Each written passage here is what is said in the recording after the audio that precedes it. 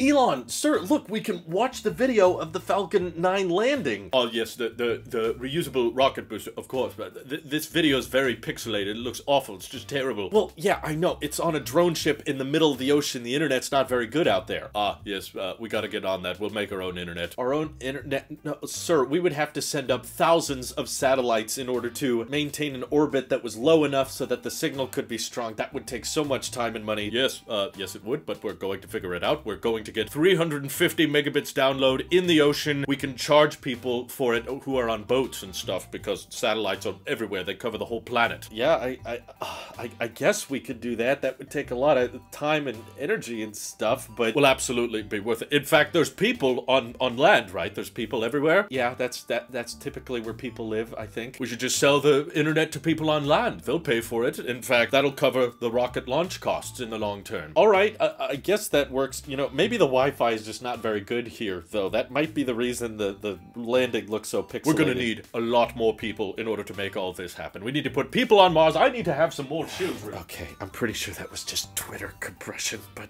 oh well. Let's begin. So while I'm not on Starlink anymore, I still love covering all of the changes and upgrades they make to the internet service because SpaceX is awesome and this showcases how game-changing Starlink is as a global internet provider because they've essentially launched a brand new tier. And if you thought Starlink Premium was bad, you know, the business grade internet that costs $2,500 up front and then $500 a month, well, just wait. Starlink Maritime is even worse. This comes with a $10,000 upfront price requirement and then to maintain service, it's $5,000 a month. Now, when you first hear that, you're like, uh, you could buy a lot of houses for less than that kind of money. That's much, much lower than a lot of people's mortgage payments, but why is this so dang expensive? Who the heck is gonna sign up for this? Well, if you look into how much maritime internet actually costs, this is honestly really, really competitive, considering Starlink is saying to expect up to 350 megabits download with Starlink Maritime, and they have a map on the website showcasing that that right now it's mostly active along the coasts, but especially around the Mediterranean Sea, it has a lot of coverage, but they expect that coverage to expand in the fourth quarter of this year and then expand even further to the more southern parts of our hemisphere in the first quarter of next year. So if you actually start looking at VSAT internet pricing for boats in the middle of the ocean, it is honestly quite astounding how bad it is. Like, this is what all cruise ships rely on, all of the Navy boats out there, aircraft carriers and battleships and also just fishing boats and shipping boats. All of these guys love to stay connected. You know, sometimes you have a few dozen crew members. Other times you could have hundreds of tourists on these ships. And of course, they want FaceTime. They want to watch YouTube. There's a lot of data demands, even out at sea. And all of these VSAT prices involve you getting usually somewhere between two megabits per second, sometimes eight. And if you're lucky, you can get somewhere around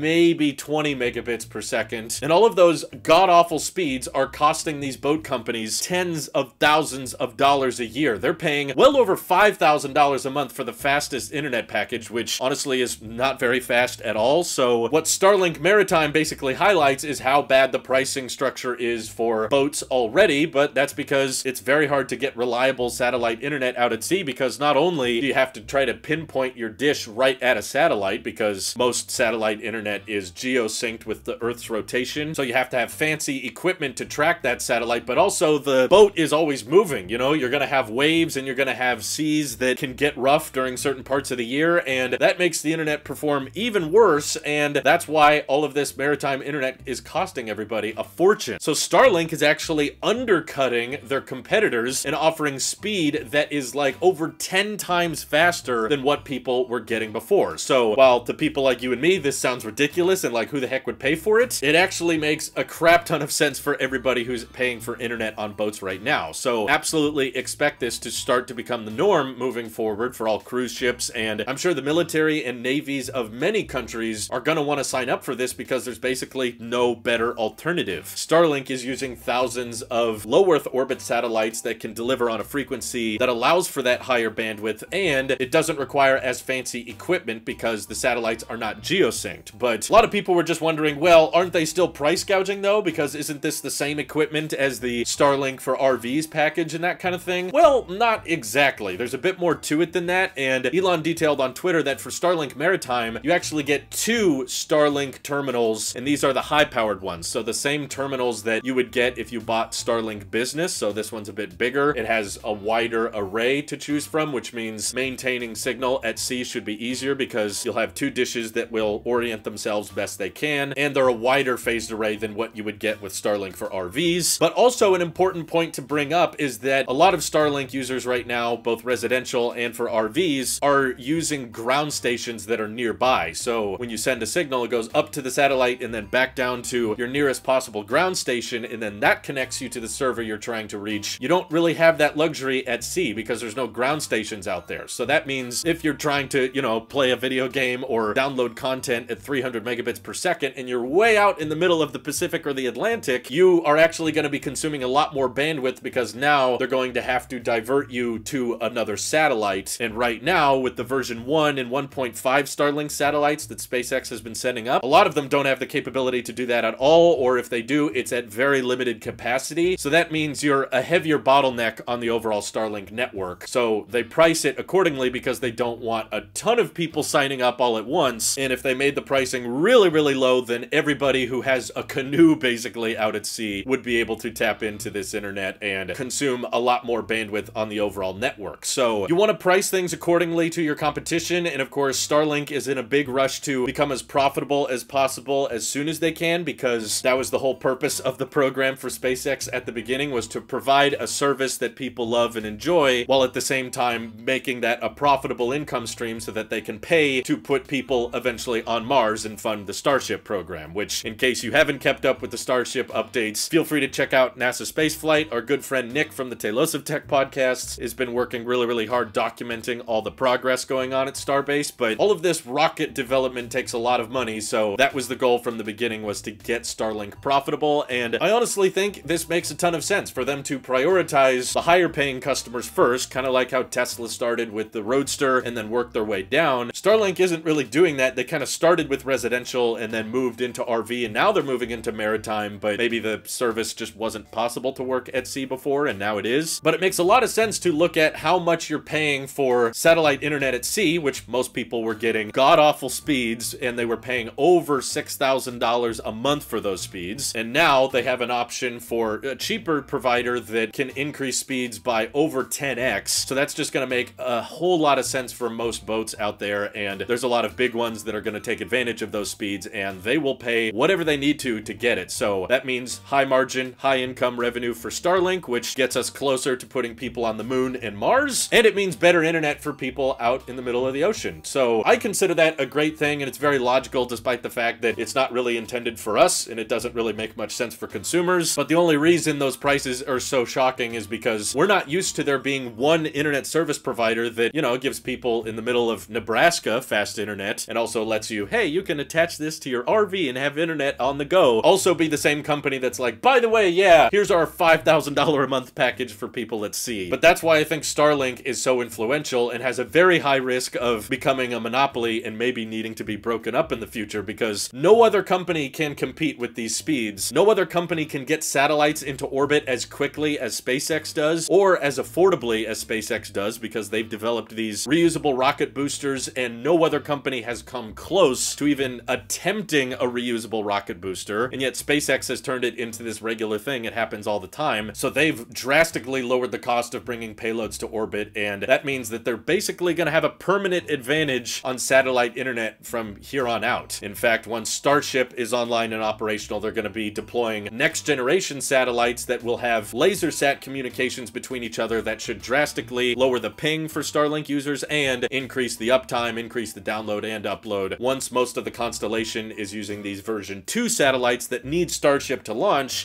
when you should start to expect gigabit internet from Starlink, which I think could honestly start to compete with land-based internet and even 5G in a lot of places. So the fact that they can have an addressable market as wide as the entire planet, I think gives them a severe advantage over every other internet provider, which is usually pretty region-based. So congratulations to people paying big bucks for maritime internet. You now have a much faster alternative, and hopefully Starlink can become profitable as soon as possible. This is your Apple Sheep here. I'll see you all in the next one.